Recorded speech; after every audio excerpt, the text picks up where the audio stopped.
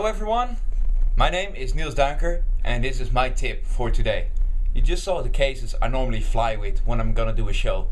Well, make sure that you have a photo of these cases of your luggage with you when you fly. It could be on your cell phone, could be on your iPad, could be hard copy.